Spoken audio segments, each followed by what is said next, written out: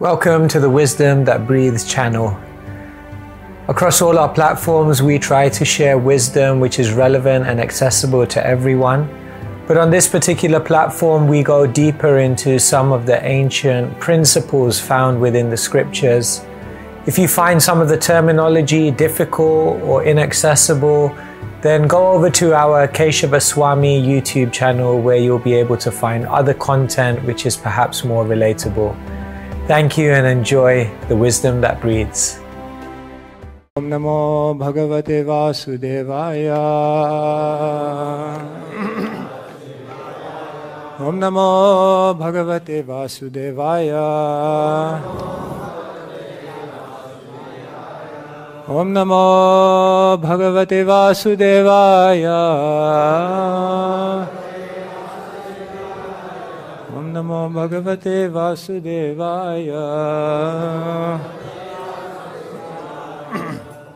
Hare Krishna. Good morning, everyone. So, thank you so much for coming this morning to this class on the Srimad Bhagavatam. So, today we're reading from Canto number 10, chapter number 51, entitled The Deliverance of Muchukunda. And today we're reading from text number 46. लब्ध्वा जनो दुर्लभमत्र मानुषम् कथञ्चिदव्यङ्गमत्यत्नतो नगा कथाञ्चिनव्यङ्गम् अयत्नतो नगा पादारविन्दं न भजत्य सन्मतिर् गृहान्धकूपे पतितो यथा पशु लब्ध्वा जनो दुर्लभमत्र मानुषम्।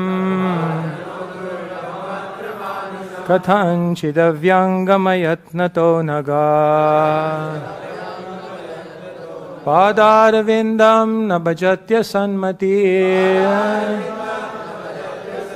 गृहान्धकूपे पतितो यथा पशु। लब्ध्वा जनो दुर्लभमत्र मानुषम् कथञ्चिदव्यङ्गमयत्नतो नघा पादारविन्दं न सन्मति। गृहान्धकूपे पतितो यथा पशु।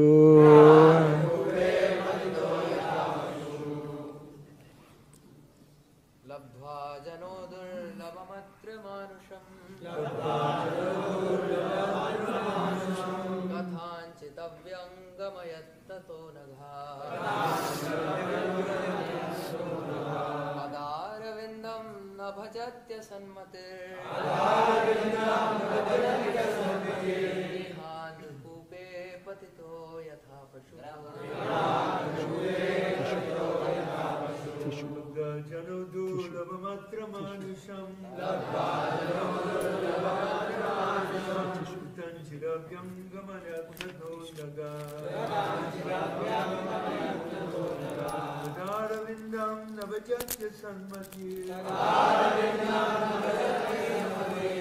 Yandu Kupe Bhati Tojitaya. Yandu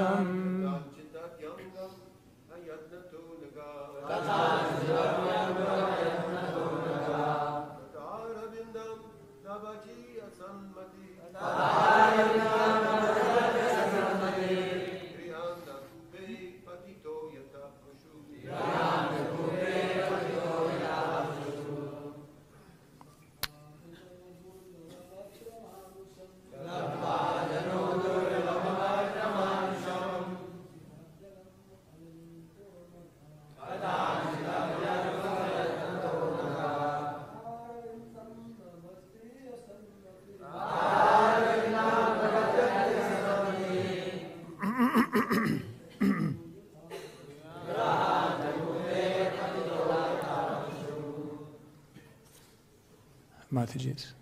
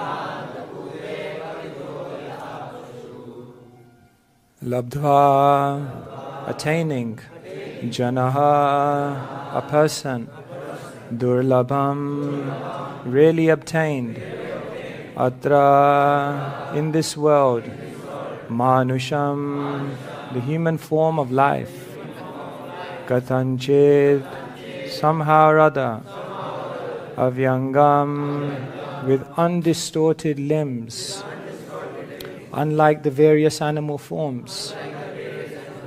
Ayatnataha, without endeavor. Anagha, O sinless one. Pada, your feet. Aravindam, lotus like. Na bhajati, he does not worship. Asat, impure.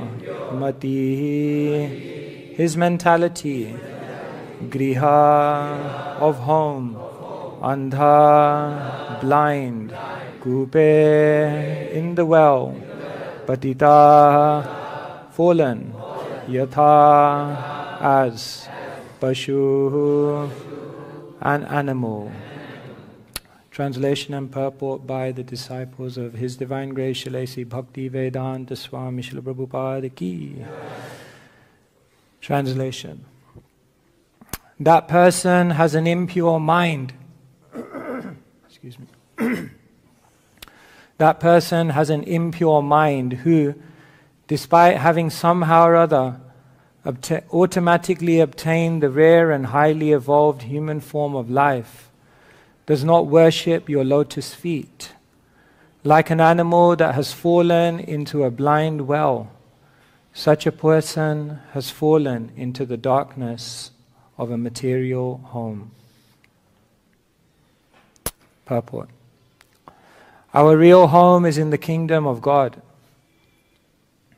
Despite our tenacious determination to remain in our material home, death will rudely eject us from the theater of material affairs. To stay at home is not bad nor is it bad to devote ourselves to our loved ones. But we must understand that our real home is eternal in the spiritual kingdom. The word ayatnataha indicates that human life has been automatically awarded to us. We have not constructed our human bodies, and therefore we should not foolishly claim this body is mine. The human form is a gift of God and should be used to achieve the perfection of God consciousness. One who does not understand this is asanmati, possessed of dull, mundane understanding. ॐ अज्ञानतिमिरान्धस्य ज्ञानञ्जनाशलाकया चक्षुरुन्मिलितं येन तस्मै श्रीगुरवे नमः।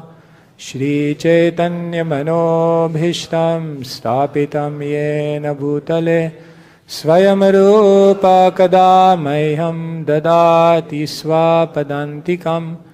वन्देऽहं श्रीगुरो श्रीयुतापदकमलं श्रीगुरोन् वैष्णवांश्च श्रीरूपां साग्रजातं सहगना रघुनाथान्वितं तं सजीवं साद्वैतं सावधूतं परिजनासहितं कृष्णचैतन्यदेवं श्रीराधाकृष्णपादान् सहगना ललिता श्रीविशाखान्वितांश्च हे कृष्णा करुणा सिन्धु दीनबन्धु जगत्पते, गोपेशा गोपिका कान्त राधा कान्त नमोऽस्तु ते तप्तकाञ्चन गौरङ्गी राधे वृन्दावनेश्वरी, वृषभानुसुते देवी प्रणमामि हरिप्रिये। वाञ्छाकल्पतरुभ्यश्च कृपा सिन्धुभ्य एव च पतितानां पावनेभ्यो, वैष्णवेभ्यो नमो नमः। श्रीकृष्णा चैतन्य प्रभो Nityanand Shri Advaita Gadadhar Hare Krishna, Hare Krishna, Krishna Krishna, Hare Hare, Hare Rama, Hare Rama, Rama Rama, Hare Hare. Srila Prabhupada ki. Thank you everyone for coming. Before I begin, I'll request the blessings and permission of my seniors. I'll try to share some thoughts as we hear about Muchukunda. Muchukunda has come out of his sleep. This is a historic moment, an auspicious moment. In the West, they have a saying sleep is my drug, the bed is the drug dealer, and the alarm clock is the police. so, sleep is uh, such a formidable enemy. Just the other day, we came for Mangalarti at Srila Prabhupada's Samadhi, and it was packed. There were so many, there was hardly space to come in. and then His Grace Panchagoda Prabhu, he came to me and he said, See, Srila still waking everyone up. so it was nice because, yes, Srila Prabhupada gives darshan. Uh, at 10 past 4 in the morning, and therefore we get up. But not just that, Srila Prabhupada is waking us up to the reality of the purpose of life.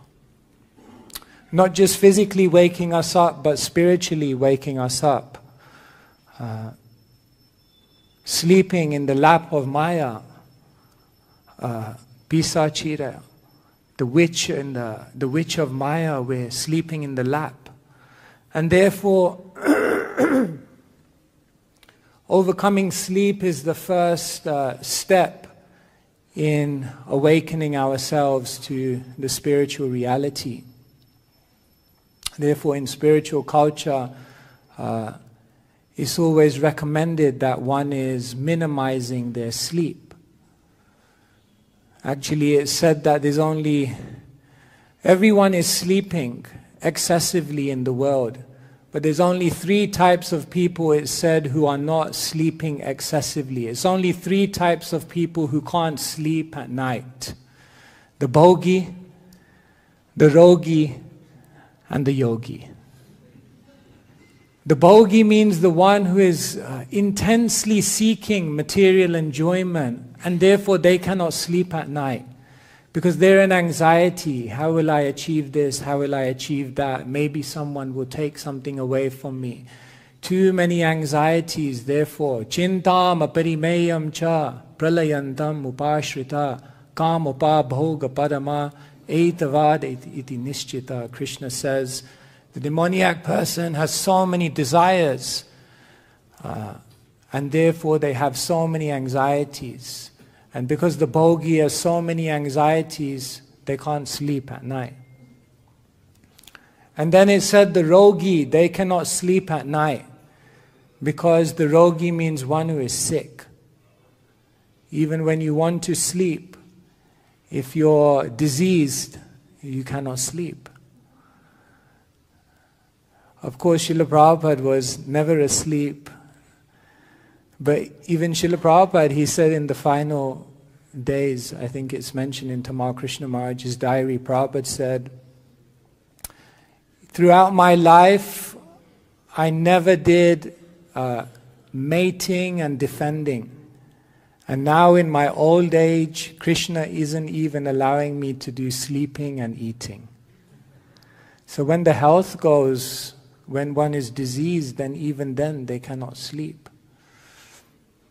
But then the other person who is not sleeping at night is the yogi, the one who is awake, jagrato, awake to the uh, ultimate purpose of life. And uh, now Muchukunda has awakened uh, from his long slumber. In these beautiful prayers of Muchukunda, he's saying, May I not go back to sleep again. Because, yes, to be a yogi means to minimize your sleep. Even Guda, uh, Arjun was known as Gudakesh, isn't it? One who conquered sleep. We hear the famous story in the Mahabharata of how one time Arjun was eating, isn't it? And somehow the sun had gone down and there was a lamp and he was eating. And then the wind blew the lamp out. And in the dark, he continued eating. He realized, my God, in the dark, my hand can still find my mouth. Mystical. Then he realized if I can eat in the dark without even seeing, if my uh, hand can find my mouth in the dark, then surely I should be able to also practice archery. Surely my arrow should reach the target at night also. And therefore, he said he began practicing at night time while everyone else was sleeping. He was awake, practicing, not wasting any time. And therefore, he became accomplished as the greatest archer.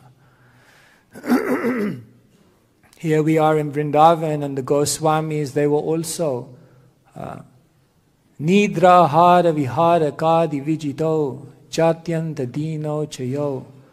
Nidra, ahara, eating, sleeping, all of these things were minimized uh, because they were so absorbed in Krishna.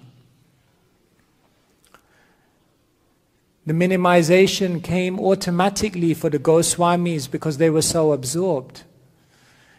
In the Bhakti Rasamrita Sindhu, Rupa Goswami is explaining that there are different symptoms of bhav.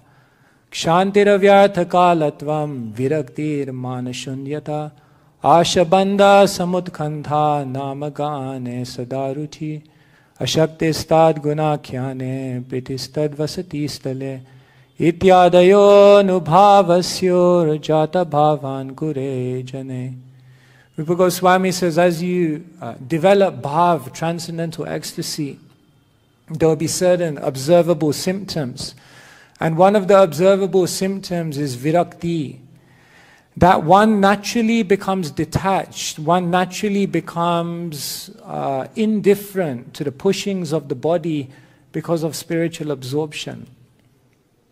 Some people think the Goswamis were going and sleeping under a different tree every night so that they wouldn't get attached. But actually, our acharyas say the reason why they were going tree to tree every night is because under every single tree, Krishna was revealing to them all the different pastimes that he performed there. And therefore, they were naturally interested. Let us move from tree to tree. And then the renunciation was coming automatically. Uh, this is virakti, the difference between vairagya and virakti. Vairagya is a type of renunciation that we perform out of knowledge, out of discipline, knowing that it's good for us. But when one becomes sufficiently advanced, then virakti, the uh, detachment comes. So, nidrahara vihara kadi. The Goswamis were minimizing sleep. Srila Prabhupada himself, um, as we hear from Srila Prabhupada's disciples, was uh, hardly sleeping. I think it was Guru Kripa Prabhu on a, uh, on the memories, he was saying, he was describing how Srila Prabhupada would sleep. I think the way he described it, he said, Srila Prabhupada would sometimes cross his hands on his chest and lie down. He said there was never any snoring. And he said as soon as Srila Prabhupada woke up, there was, he was just like fresh, like ready. Usually for us it takes some time to get the engine going again after sleeping. So Srila Prabhupada, he was hardly uh, Tamal Krishna Maharaj, in, a, in another memories, he explains one time he was in a car with Srila Prabhupada and he said Srila Prabhupada didn't like it when the devotees would fall asleep and doze off in the car. So he said he was next to Srila Prabhupada and he was dozing off. So Srila Prabhupada tapped him and said, You're sleeping. He said, No, no, Srila no, no, no, no I'm not sleeping. Prabhupada said, No, no, you're sleeping. He said, No, no, Prabhupada, I don't think I was sleeping. Prabhupada said, You were sleeping, chant Hare Krishna. and then in that memory, Tamal Krishna Maharaj says, Another time he was in the car with Srila Prabhupada at the back. And in the front, I think it was Upendra Prabhu. And Tamal Krishna Maharaj says Upendra Prabhu was dozing off in the front. And so they, Tamal Krishna and Srila Prabhupada, they could both see so Tamal Krishna was seeing what Srila Prabhupada would do. And then he said, as uh, Upendra was dozing off, Srila Prabhupada reached forward and just caught hold of his sikha. and so when he, when he dozed off, then his head jerked. And then Upendra, he looked back and he thought that must be Tamal Krishna Maharaj. so he got angry at him, but he didn't realize it was actually Srila Prabhupada. So Prabhupada was uh, training the devotees that um, not to waste life uh, sleeping. When sleeping is more exciting than being awake, then it means our life is not exciting enough. They say the best alarm clock in the world is purpose. Because when the eyes open and we have purpose, uh, there's no reason not to come out. So, of course, Krishna explains in the Bhagavad Gita that we have to be also balanced. Natasnyatastu yogosti na chaikanta manashnata nachati swapnasilasya jagrato nevacharjuna. Krishna says one cannot be a yogi if one eats too much or eats too little, if one sleeps too much or sleeps too little. And therefore, uh, one must also be regulated. Yukta hara viharasya yuktatesasya karmasu. One must be regulated in all these things. Maybe also devotees have also gone to the other extreme of trying to neglect their sleep. Uh, many cars have been crashed in the Krishna consciousness movement because devotees didn't get enough sleep. Prabhupada had to forbid night driving in two letters. Yeah. Because the two devotees in Ohio, 969, they died of a car crash Yeah. because they were driving at night. So Prabhupada sent out a letter, never, no more night driving. Yeah. Yeah.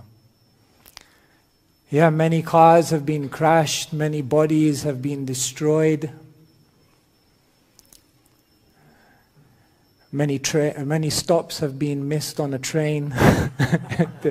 One devotee did that once. He missed the, he was sleeping, he, he missed the stop on the train. He had to go two hours forward, two hours back.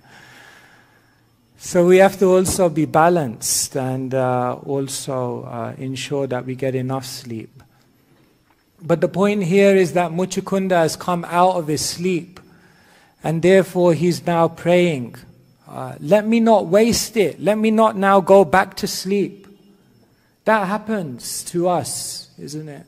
When the alarm clock goes off in the morning, one type of person doesn't even hear it. The second type of person hears it but shuts it down and goes back to sleep. The third type of person hears the alarm clock, wakes up, but then just lies awake in bed.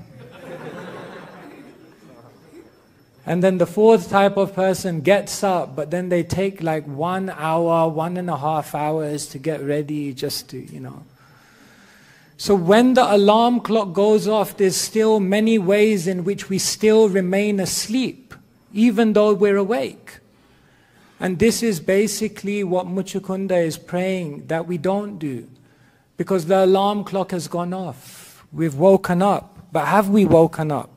Is there a chance that we could go back to sleep again? Yes, that's very much a possibility. And therefore, uh, I was on Parikrama yesterday, and you know, so many dogs are there. Srila Prabhupada would often say in his lectures, quoting Chanakya, that there are six things you can learn from a dog. The first thing is that a dog, if it has food, it eats to its heart, heart's content. First lesson. Second lesson, if the dog doesn't have food, then it's content. It can still continue functioning. Third lesson is that a dog is fiercely loyal to its master. Fourth lesson from a dog is that it's very courageous. See? very brave, courageous. And then the fifth lesson you can learn from a dog is that it can sleep anywhere. And the sixth lesson that Srila Prabhupada said you can learn from a dog is that as soon as it wakes up, it's immediately active. That's actually a profound lesson. Once I was walking on the Parikrama Marg actually, and I accidentally stepped on the dog. and immediately, like, rah, like immediately awake, you know, active, you know, alert, alive. So that's actually a profound lesson. That once we awake, we have to really be awake.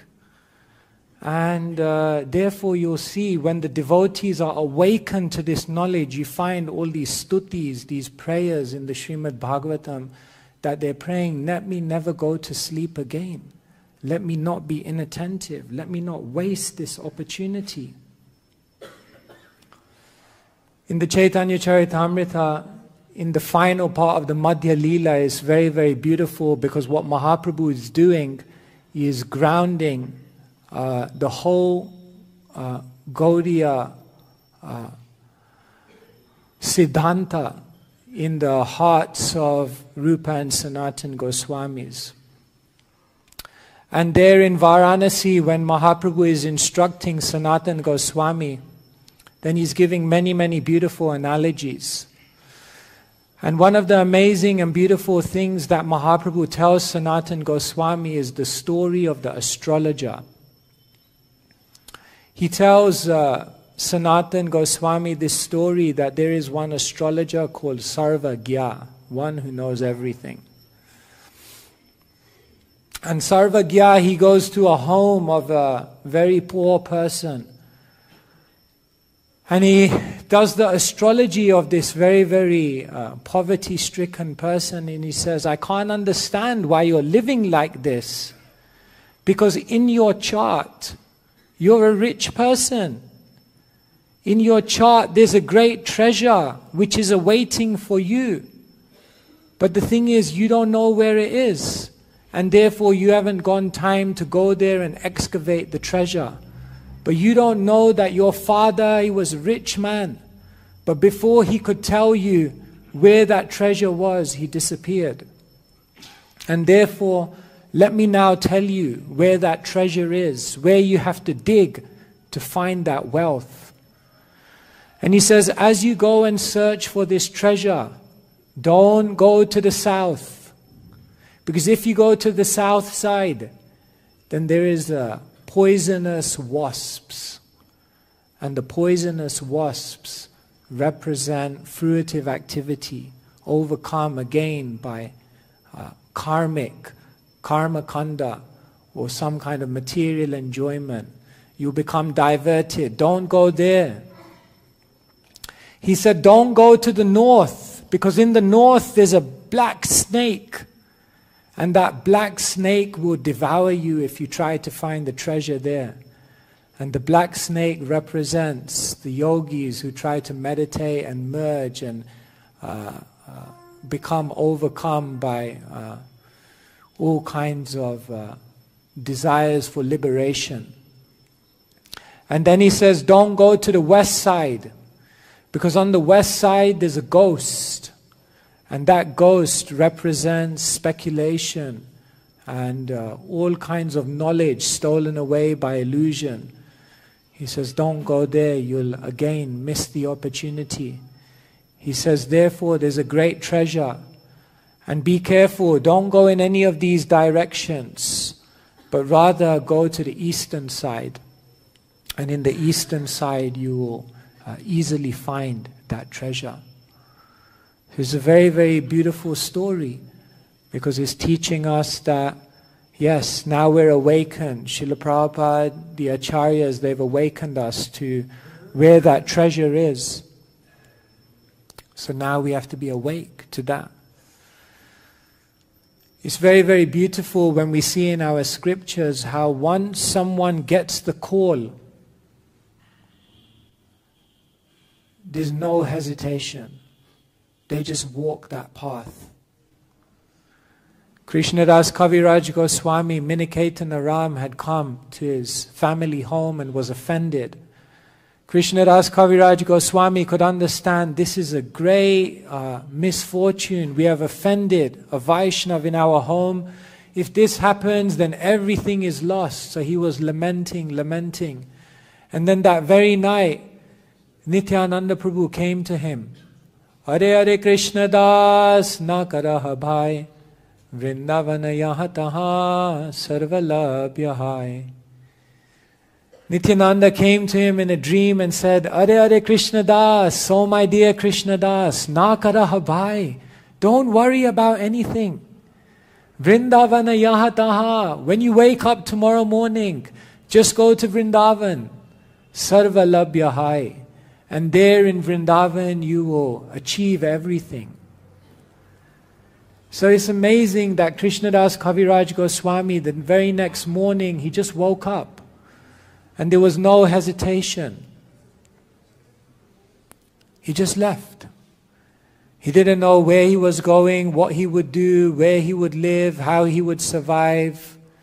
But the call came, and therefore he walked the path. Sometimes we don't know the whole journey, just like now it's very, very. This morning we were walking to Mangalarti and you can hardly see your hand in front of you. And you think, how are we going to make it there? But as soon as you walk forward, then the rest of the path is revealed. And as you walk a little further forward, the rest of the path is revealed. Sometimes we don't know the whole path of our spiritual life, where the beginning is, where the end is, where the middle is, and therefore we feel, how can I walk the path? But the devotee, when they get the call, even though they may not understand the full journey of how it's going to walk, work, they still walk the path. And as they walk, Krishna reveals more and more and more. So Krishnadas Kaviraj Goswami, when he got the call, when he woke up, he didn't go back to sleep. Neither did he go back to sleep physically, neither did he go back to sleep spiritually, but he was fully awake to the call. And therefore he walked that path and he came to Vrindavan. Nityananda Prabhu said, Sarva Labhya Hai, you'll get everything here. And what happened? Krishnadas Kaviraj Goswami got everything. He got the most exalted association in the universe, the association of the Goswamis of Vrindavan. He got the most exalted residence in the entire universe, Shauta at Sri Radhakund. He got the most exalted service in the whole universe, the opportunity to document the life and times of Sri Chaitanya Mahaprabhu. And in this way, Sarva Hai, he received everything. Because when the call came, he never uh, hesitated. So in our life, the call comes, the instructions of the spiritual master come, Sometimes the instructions of the spiritual master have to be delayed, but those instructions can never be denied. And therefore, as soon as the instructions come, the disciple is always awake to those instructions. And even if it's not possible to fulfill them immediately, the disciple is always meditating, internally preparing, evolving, uh, developing themselves towards the point where they can fully embrace the call of the spiritual master, the call of Krishna. And so here, Muchukunda, in this very beautiful prayer, is saying, uh, Let me not now fall, griham, andakupam. Uh, Prahlad Maharaj says the same thing to Hiranyakashipu. Uh, Hitvatmapatam, grihamandakupam, vanam gato yad, dharimashhrayeta. If you've fallen into the dark well of materialistic life, then immediately you must come out and you must go to the forest, take shelter of Krishna.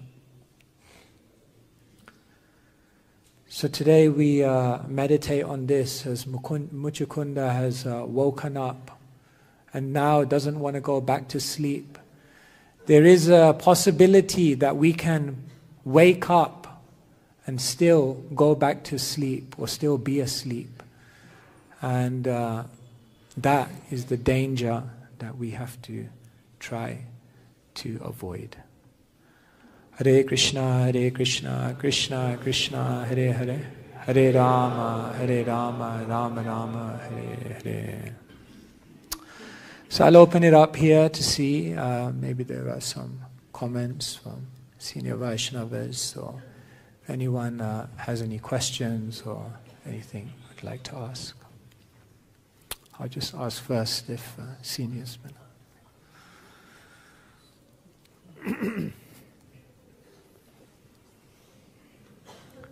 Hare Krishna, thank you. You mentioned, you mentioned of course, with Krishna Maharaj, Srila Prabhupada.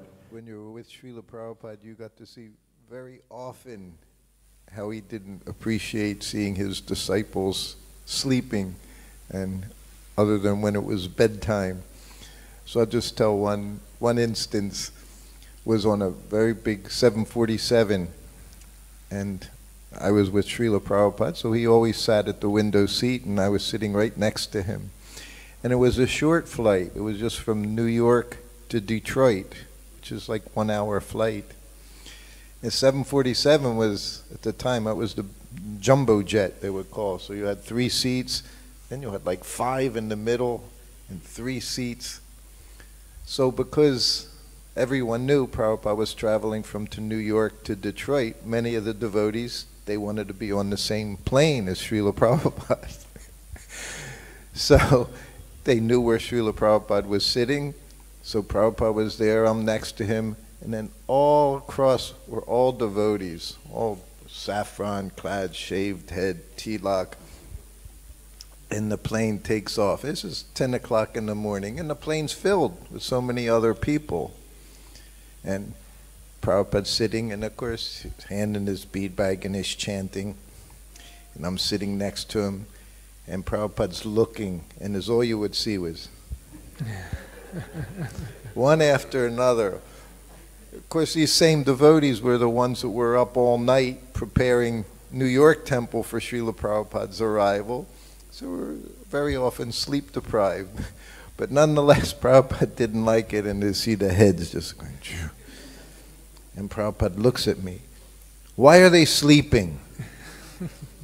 I would never say any. I didn't know what, what. What can you say? Why are they sleeping? Because there's no good excuse for Srila Prabhupada. Even if I say, well, Prabhupada, probably they didn't sleep all. No, that's you can't give any reason. You say, look, everyone on the plane is awake except the devotees. Sleeping very comfortably, he would say. He said all the karmis, when it, and Prabhupada would say karmis. He, he would use that word. He would say all the karmis working very hard, he say, for to support their families, for their sex life. No, not the devotees. Sleeping very comfortably, he would say. But it was one of just dozens of times, myself, the entourage, anywhere all the time. Sleeping, as you said very nicely, is the very first thing we have to conquer over. But I can tell you from my personal experience, it can take a long time to conquer over that desire to sleep. Still working on it. But uh, yes. And then he would go on the other extreme. We would listen to him all the time, telling us sleep less, eat less. So when you're traveling with him, this, you hear this every day, just like your Prabhupada's classes are all philosophy, instructing us what to do. So we would sometimes do that, and he would condemn sleeping too much. So we were in Mayapur, and his Sanskrit editor, our Panditji, he was, as all of us, he was very fond of prasadam. Pradyumna liked prasadam, you know. But he's hearing Prabhupada's lectures. Sleeping too much, have to reduce sleeping, have to reduce eating. So every morning we would have breakfast on the veranda, right outside Prabhupada's room in Mayapur. And Prabhupada, he would come out and he would just look to see what we were eating, always interested to see. He wouldn't, he was always aloof, hand in his bead bag, but he saw everything. Oh, we saw everything going on. The one day, he told the Bengali brahmachari who's serving, he said something to him as he was serving me. So what did Prabhupada said? He said he told me to give you a lot of chapatis. and then Prabhupada looked at me. He said, "Where's Pradyumna?" I said, "Oh, Prabhupada, he's he's in the room chanting." He said, "Why isn't he taking prasadam?" He's asking me. I said, Well, Prabhupada, I said, he's trying to reduce his eating.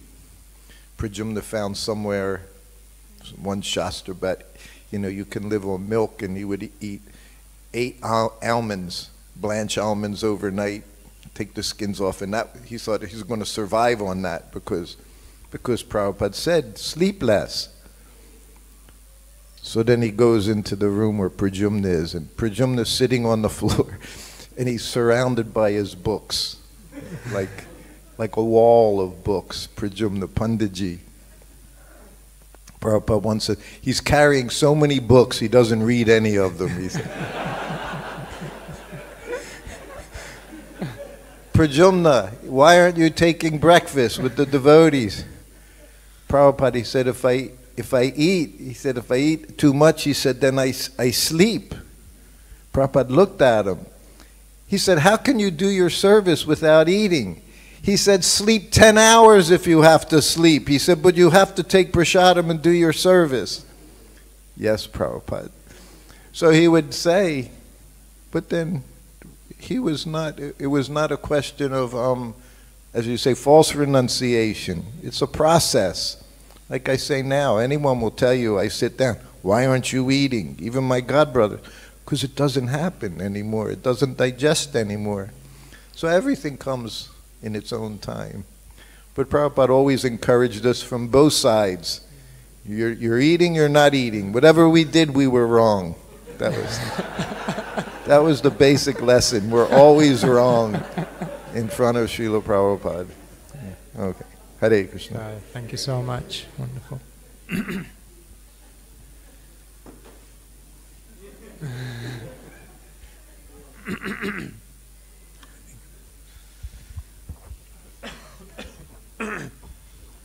Uh, Hare Krishna Maharaji, please accept my humble obeisances. Thank you so much for such a wonderful class.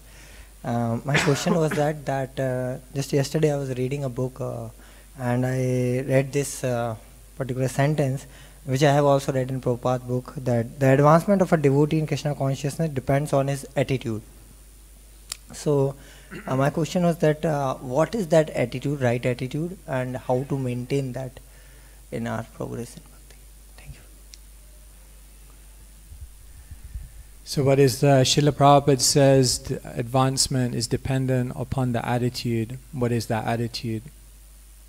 So, Rupa Goswami is explaining Karma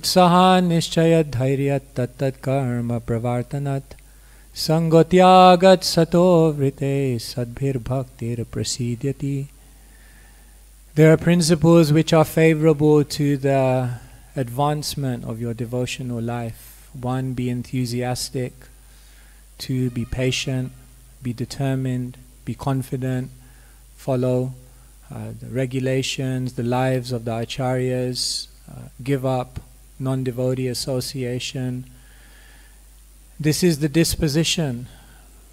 Srila Prabhupada, often if you read the folio, he specifically emphasizes enthusiasm and patience as the ideal attitude.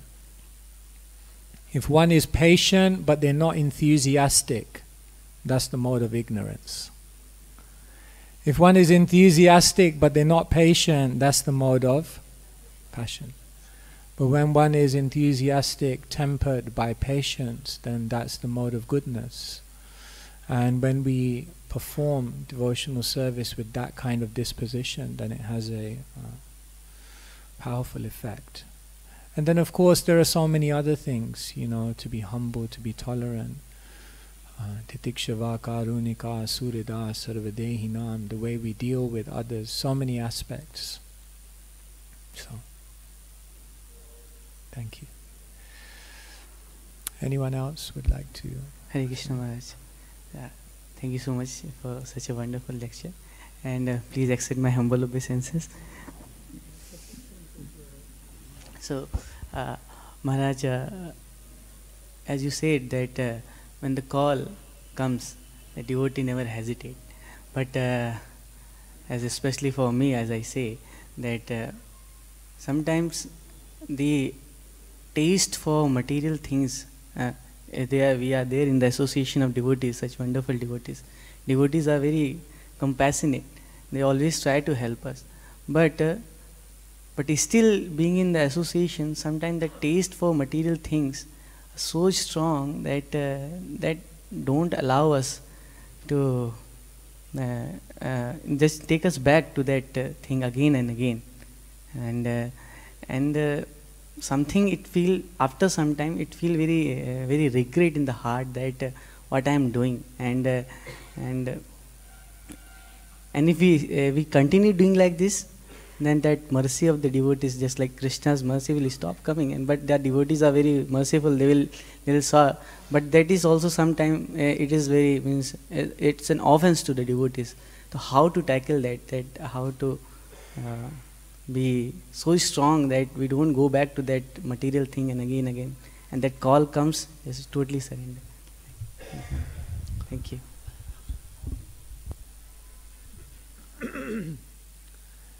It will uh, it will take time therefore enthusiasm and patience.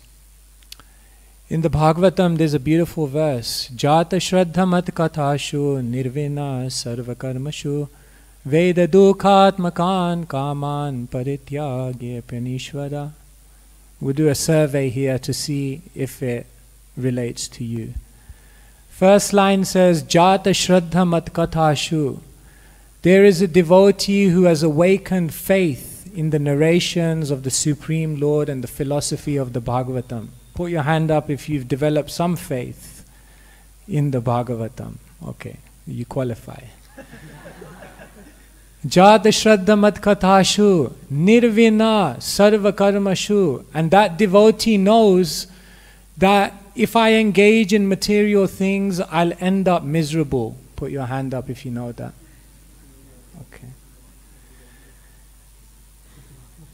Veda dukhat makan kaman parityagye pyanishvara.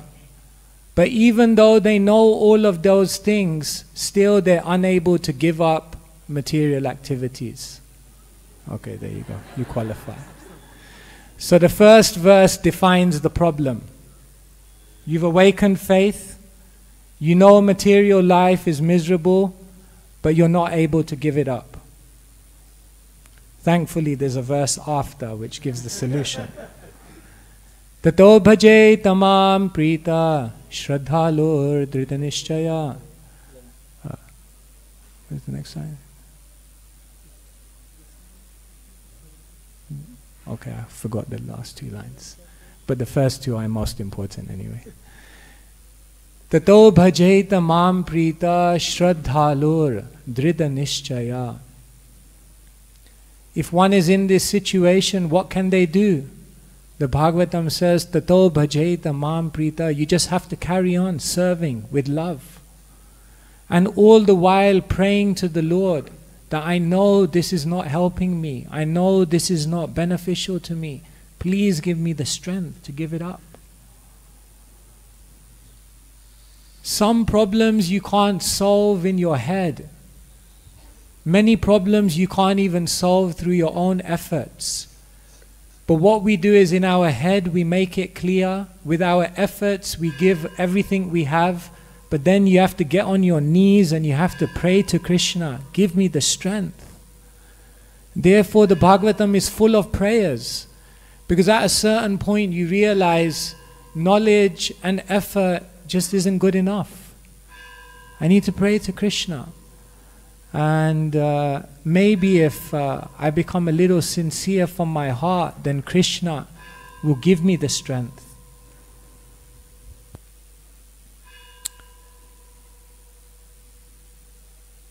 It just takes, uh, actually, it just takes a sincere mantra chanted to Krishna, and Krishna will free you. but it takes a long time. Eka Krishna Nama Kare Sarve Papa Kshoy. Eka Krishna Nam is enough. But to get to that Eka Krishna Nam, to get to that one mantra, you have to do a lot of mantras before. But one mantra is enough. Uh, there's a beautiful verse that, uh, what is that verse? Um, okay, I can't remember it. If one chants my name once with devotion,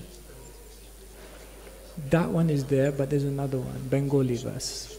Uh, then Krishna says, Maya bande hoite Krishna tare kare par. I free them from Maya immediately. So I think it's a matter of becoming prayerful. In my life, I felt at some point I was not so prayerful. But the path of bhakti is a path of prayer. It's a life of prayer. So there comes a point when you realize we just have to pray. And not that we don't do everything else, we do. But without that added element of prayer, work. That's what came to my mind. I'm sure there's many ways to answer that question, but that's what came to me today. Hare Krishna. Um. I think I can give Mataji's a. Ask a may want to give the ladies opportunity.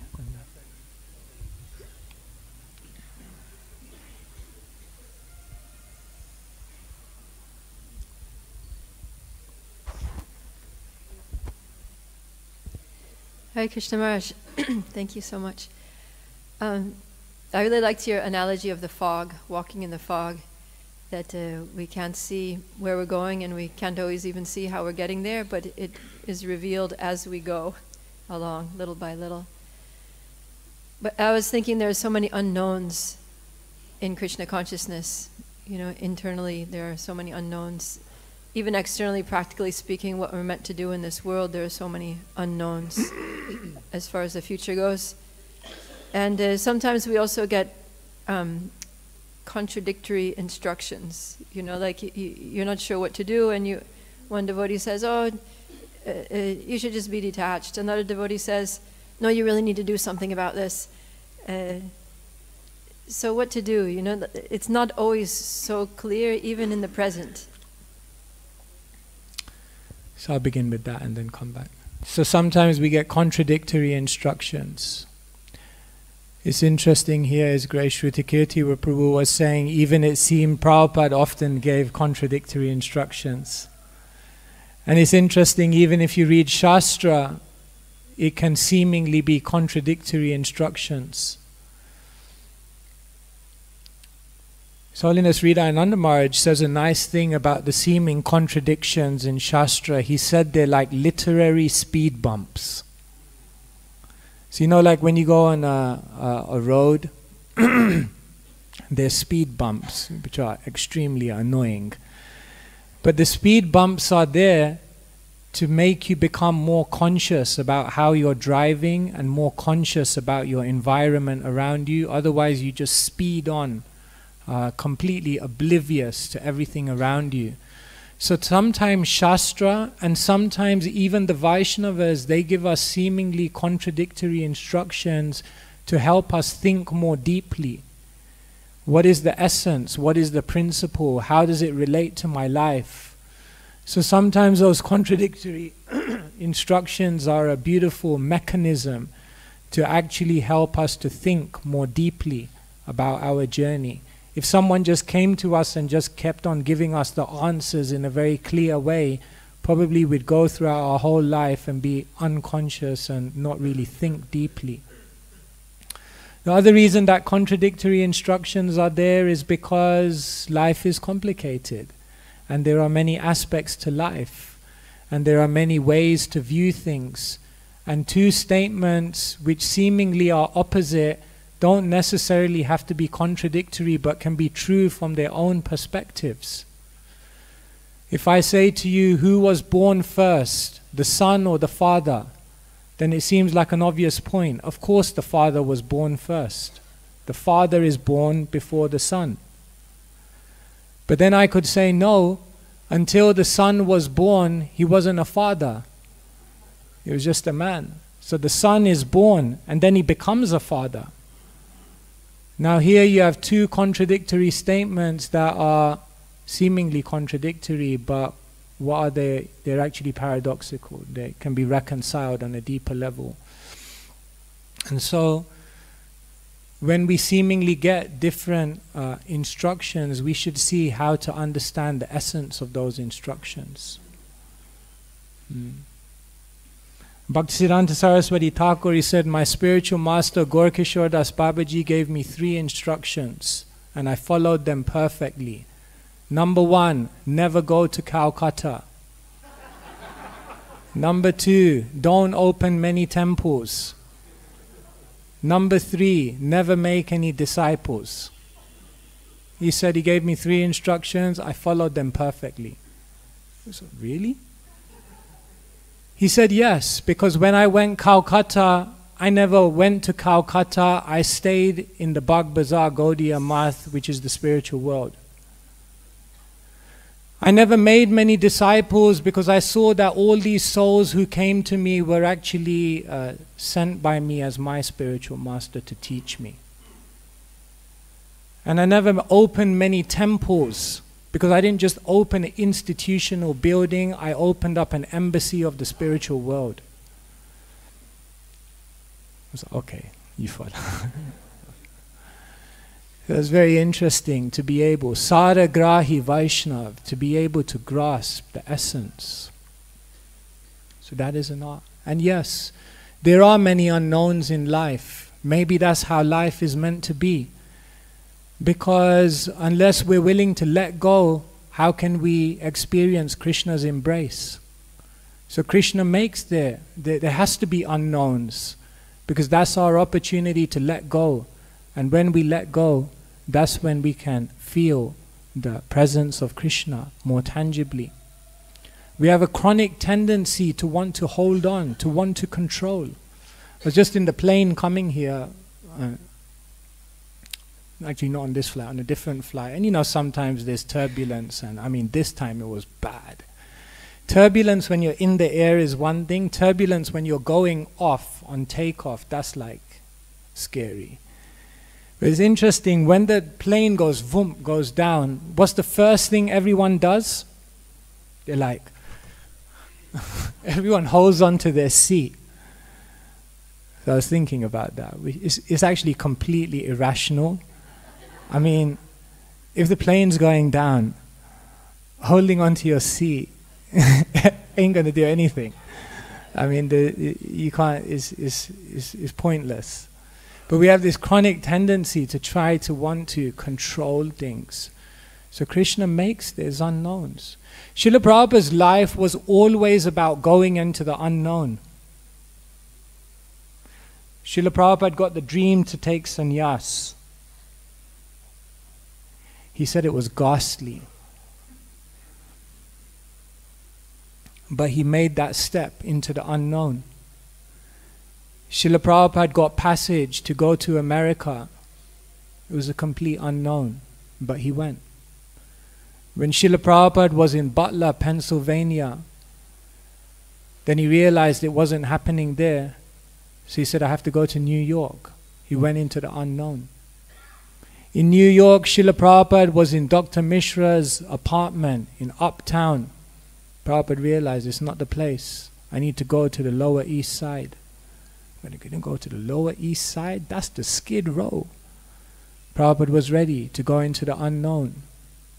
So it seems as though Srila Prabhupada's life was just a continual journey into the unknown. And it seems that when the devotee makes the journey into the unknown, that's when you meet Krishna on the other side. So that's why it requires bravery. After some time in Krishna consciousness, you realize if you really want to do this path, you have to be extremely brave. You have to be extremely courageous. Uh, it's risky business. Krishna consciousness is risky business. But big reward, yeah. The biggest risks have the biggest rewards. So, anyway, these are some thoughts. Okay, maybe last one, and then I guess we should stop.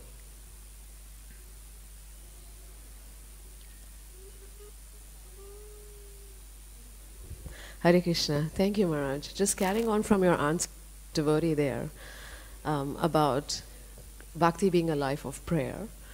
So, personally, I see that in my case. Um, I can see that in many situations. My heart is full of blocks or knots. And I can see that actually what I need to do to overcome them is to pray intensely, as, as, as you're saying, you know, to get on your knees and beg Krishna to please help me overcome them because I can see that all I'm trying, that my own endeavor is not working, but I still have so much faith in my material ability to be able to overcome these knots and these blocks in my heart. A, an easy example I can give is on Sankirtan, you know, that you're out there and you're trying, trying, trying, nothing is happening. And you know on one side that I just really have to you know that externally I have to make the effort, but what is really needed is that internal surrender, is that I just really have to beg. But there's so much pride there. So even though I know that this is what I have to do, there is so much pride in the heart that why do I have to beg? You know, can't Krishna see that I'm making such an effort? Why doesn't he reciprocate? So this arrogance is there. So and I can see that this is actually preventing me from moving ahead. Yeah. So how do I overcome this? The material world is a humbling place. His Grace Bhurijan Prabhu is in Govardhan, and you know, like when you go around Vrindavan, you see these sugarcane machines. Put that. So he saw the sugarcane machine, and then he made a prayer. May the hard, crushing wheel of life extract some humility from my offense hardened heart. And may the nectar of that humility give rise to pure love for Krishna. I was like, wow. Yes, I don't know if I want it to happen. may the hard, crushing wheel of life extract some humility from my offense hardened heart. So, the hard, crushing wheel of life, mrityu samsara sagarat. Uh, but otherwise, uh, there's different ways to get humble, I guess. That's one way. Another way is by being in the presence of incredibly exalted personalities. One person came to Bhaktisiddhanta Saraswati Thakur. He was an eminent person, he said. He said to his friend, I'll come and see the sadhu, but I'm not bowing down to him. I don't bow down to anyone. And he came into the room and unconsciously, against his own will, he just went down. he said, I was going down. I was like, why am I going down? I don't bow down to anyone. Then he realized Bhaktisiddhanta Saraswati Thakur's purity was so great that in the presence of such a personality, you realize, oh my God, I, who am I? So when, when we're surrounded by such people, then we think, yes, uh, maybe I'm not as. So, like this, there are different ways through knowledge, through association, through experience. We need all the help we can get because Trinadapi Sunichena, you can't, you know, the route to the spiritual world goes via that humility. You can't circumvent that. There's no other road that goes there. Every other road is blocked. is there another route? Can I try a different way? No, no, no, no. That. You have to go through that. So we're praying. Thank you so much for your kind attention. Grantharaj Srimad Bhagavatam ki jai, Srila Prabhupada ki jai.